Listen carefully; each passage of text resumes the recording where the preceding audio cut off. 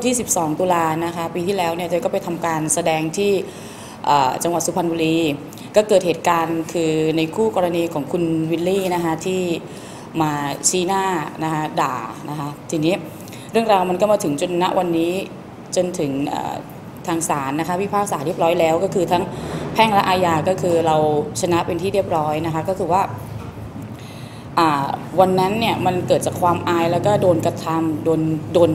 เขาว่าอ่าชี้หน้าว่าเราอะไรประมาณเนี้ยก็พิสูจน์ให้หลาย ๆ ท่านทราบแล้ว เพราะว่าในส่วนของวงการเนี่ยก็เป็นในส่วนหนึ่งของชีวิตจอย แต่ว่าข้างนอกเนี่ยจะกลัวว่าผู้ใหญ่ที่เราทำงานด้วยจะเหมือนกับว่า เราเป็นคนที่ต้องทะเลาะวิวาทกับคนอื่น เพราะฉะนั้นณวันนี้เราก็รอมาประมาณครึ่งปีกว่า แล้วก็ได้พิสูจน์แล้วว่าอ่าเราบริสุทธิ์อะไรอย่างเงี้ยค่ะก็จบแล้วก็คดีเป็นยังไงคะก็ ณวันนั้นเนี่ยก็ตอนที่เราจะขึ้นไปร้องคอนเสิร์ตเนะเขาก็มาชี้หน้าด่าเราจริง ๆ แต่ว่าตามปกติแล้วเนี่ยถ้าเรื่องเรื่องว่ากันเนี่ยมันก็ไม่ได้เป็นเรื่องที่ยิ่งใหญ่อะไรมาก แต่ว่าสิ่งหนึ่งที่ทำให้คนในวงการและนอกวงการเข้าใจเราผิดก็คือว่า หาว่าเราไปต่อต่อหน้าคนอื่น หาว่าเราไป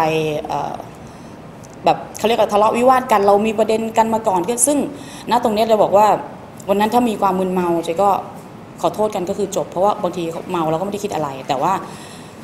ไปขยายความในสื่อต่างๆนะคะซึ่งซึ่งทำให้คนอื่นเข้าใจผิดว่าเราด่ากัน มันก็สร้างให้ประเด็นของคนหลาย ๆ ท่านผู้ใหญ่หลาย ๆ ท่านมองเราในอีกแบบรูปแบบหนึ่งอะไรเงี้ยซึ่งในการทำงานของจอยตั้งแต่วันนี้จนถึงวันนี้ไม่ว่าจะนอกหรือในวงการเราไม่เคยทะเลาะกับใคร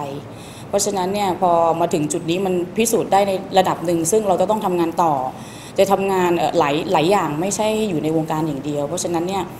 อ่าเราก็ได้พิสูจน์แล้วจะได้แบบว่าอ่าต่างคนต่างทำงานไป เราก็จะได้มีความแบบไปไหนเราเราก็เหมือนเราสบายใจอะไรเงี้ยค่ะศาลก็ตัดศาลตัดสินคือค่ะเขาต้องรับผิดชอบอะไรยังไงบ้างหรือเปล่าคะใช่ค่ะค่ะเอ่อก็เราก็มีค่าใช้จ่ายนะคะในเรื่องของทนายแล้วก็ค่าใช้จ่ายในเรื่องของการที่เขาโดนปรับนะคะเป็นราคาเท่านั้นเท่านี้เสร็จแล้วก็ จะต้องชดใช้อย่างนี้ภายในจำนวนกี่ปีนะคะสำจำจำนวนเงิน แล้วก็ถ้ายังไม่ได้จ่ายจำนวนก็ต้องเพิ่มดอกตามความจริงอะไรประมาณนี้ค่ะก็ค่ะเขาได้มีติดต่อมาครับตอนนี้ไม่มีติดต่อนะคะไม่ไม่ไม่ติดไม่ติดต่อแล้วก็ไม่คุยแต่ว่าอาพอเราเกิดความสบายใจนะตรงนี้เรียบร้อยแล้วเนี่ยเราก็ มันมันเหมือนเราเราฟูอะเราเดินไปไหนเราเราไม่ต้องรู้สึกเราติดชะงัก หรือว่าจะต้องมีประเด็นกับใคร การร่วมงานกับคนเนี่ยถ้าเรามีรู้สึกว่าเรามีประเด็นชะงักอะไรติดหลัง มันทำให้เราเราไปไหนเราเราเหมือนจะมีความรู้สึกว่าเหมือนต้องออกไปคุม แล้วมันมันมันไม่ใช่นะฮะมันเป็นการลิสเครดิตที่มันอับอาย เพราะฉะนั้นเนี่ยก็แค่ได้ศักดิ์ศรีเราคืนมา เราไม่ได้โกหกอย่างนั้นเราก็ดีใจแล้ว เพราะว่าจะบอกว่าถ้าเกิดว่าขอโทษเรียบร้อยก็ไม่มีปัญหา แต่ว่าการที่ไป เต้นโชว์ การเย้ายวนยั่วยุ และก็พูดไปเรื่อยๆ จนทำให้บุคคลข้างนอก หรือในวงการน่ะเข้าใจเราผิดก็คือ ตอนนี้ก็พิสูจน์ได้แล้วนะคะเพราะว่าฐานศาลท่านตัดสินเรียบร้อยแล้วอะไรเงี้ยค่ะก่อนหน้านี้มันมีคำพูดอะไรที่ทำให้เรารู้สึกเสียใจ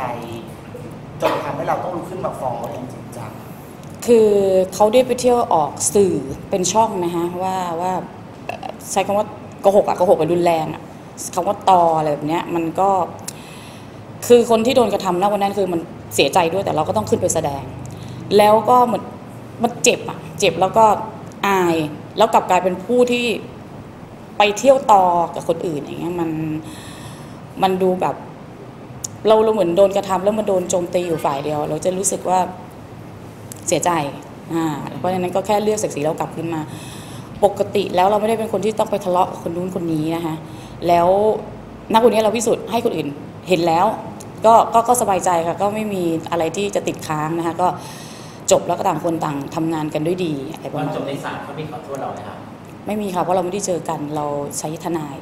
ค่ะไปแทนเขาก็มีทนายของเขาอะไรเงี้ยแต่เขาก็ยินดีเสียค่าเสียหายก็ต้องเป็นไปตามกระบวนการของศาลนะคะแต่ถ้าไม่ไม่ไม่ไม่ไม่ปรับตามนั้นก็คือเป็นดอกไปอะไรเงี้ยแต่นอกจากวันนั้นจนถึงวันนี้ก็เจอกันหลาย ๆ งาน ซึ่งก็สวนกันโดยที่แบบเขาก็ไม่มีประชดประชันไม่มีสายตาที่จะกดแค้นไม่มีคือ เราเหมือนไม่รู้จักกัน ก็ไม่ทักใช่ไหมครับก็ไม่ไม่ไม่ไม่ในการก็มองสวนกันอะไรเงี้ยค่ะมันก็ อาจจะแบบเป็นเพราะว่าเขาก็รู้ตัวแล้ว แต่ว่ามันก็นานมาแล้วอะไรนะคะก็ ก็ไม่มีประเด็นไม่ติดใจอะไรติดใจเลยไหมครับเพราะว่าตอนนี้คดีก็สิ้นสุดแล้วเลยครับไม่ไม่ติดใจค่ะ ไม่ติดใจแล้วก็เขาก็ไม่ได้มีท่าทีที่จะมีโกรธแค้นหรือว่าจะจะ มาต่อต้านหรืออะไรใด ๆ ทั้งสิ้นนะคะเพราะหลังจากนั้นก็เจอมาเกือบสิบงานอยู่นะคะก็อ่าก็ก็เป็นเขาเรียกอะไรอะเป็นที่สบายใจของเรา แล้วก็เคลียร์อ่าผู้ใหญ่ในวงการแล้วก็นอกวงการ แล้วก็เพื่อนๆ ทุกท่านที่ทำงานและทำธุรกิจกับเราเป็นที่เรียบร้อยแล้วอะไรประมาณนี้ค่ะตัวเลขค่าปรับพอจะบอกได้ไหมครับว่าเท่าไหร่ครับอ่าจะเรียกไปประมาณ5 0 0แสนแต่ว่า ส่วนเขาจะอะไรทยอยอะไรยังไงแต่ไม่ไม่ไม่ทราบนะคะก็ตัดสินไปที่เรียบร้อยแล้วก็คำสั่งศาลก็คือห้าแสนเหมือนกันที่เขาต้องจ่ายค่าค่าหมิ่นประมาทใช่ไหมครับอ๋อไม่ไม่ค่ะ ก็แต่ก็หลักแสนใช่ไหมคะอะไรประมาณนั้นนะคะก็ ถ้าถ้าเขาชำระก็คือจบแต่เขาไม่ชำระก็คือมีการแบ่งจ่ายหรืออะไรไม่ทราบนะคะแต่ว่าประเด็นมันไม่ได้อยู่ที่ตรงนั้น ประเด็นคือเราอยากได้ศักดิ์ศรีที่ คนที่ไม่เข้าใจ คนไม่รู้เรื่องราวแบบ คือเขาเรียกว่าอะไรมันจะได้ไม่ไม่เราสบายใจเราบริสุทธิ์อะไรประมาณนี้ค่ะก็รู้สึกว่ามันไม่ได้ติดชะงักอะไรติดหลังที่เราต้องอับอายเพราะปกติเนี่ยจะทำงานมาประมาณห้าหกเดือนที่ผ่านมา มันเวลาเราจะไปงานไหนที่มันจะยิ้ม ที่เราจะเดินแบบสง่าผ่าเผย มันมีความรู้สึกนิดนึงดรอปๆนิดนึงเพราะว่ามันแบบมันเป็นประเด็นการทะเลาะกันนะฮะการทะเลาะวิวาทเนี่ยไม่ว่าจะเป็นแบบ ผู้ชนะหรือแพ้มันก็เป็นมันไม่สามารถพิสูจน์ให้คนภายนอก หรือคนภายในทราบได้ เพราะฉะนั้นเนี่ยเล่านี้มันจบแล้วมันทำให้เราสบายใจมากขึ้นเหมือนอยกภูเขาออกจากอกอะไรประมาณนี้ค่ะก็อาจจะมี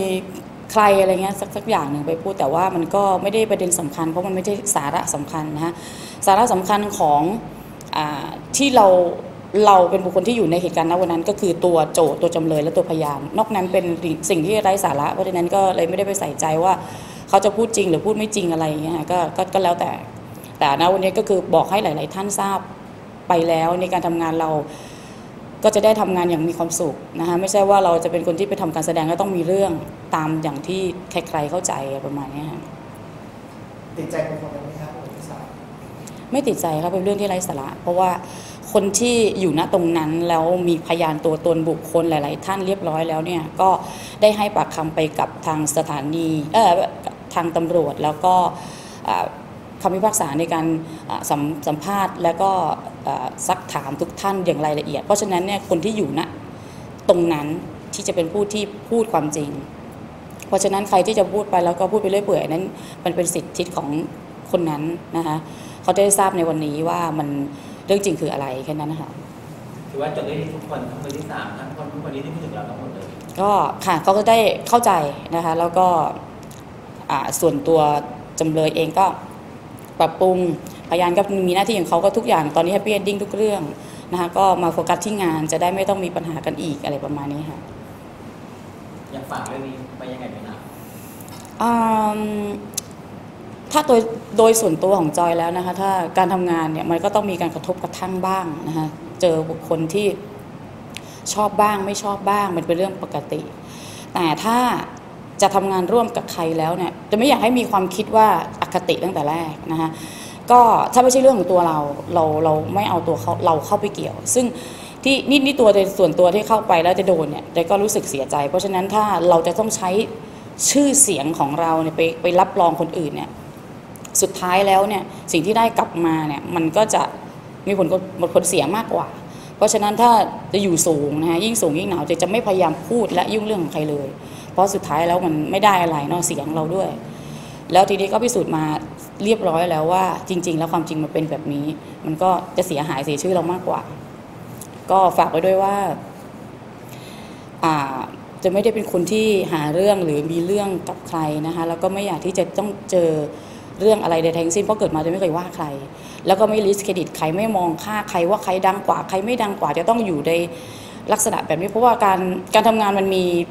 อะไรให้ให้เราทำเยอะแยะนะคะดีกว่ามากที่เราจะต้องไปนั่งพูดว่าคนอื่นอะไรเงี้ยค่ะแต่ก็วันนี้เป็นเคสที่จำไปตลอดไปแล้วก็จะเป็นเคสที่จะไม่เกิดขึ้นอีกอะไรเงี้ยแล้วก็รู้สึกสบายใจมากขึ้นค่ะ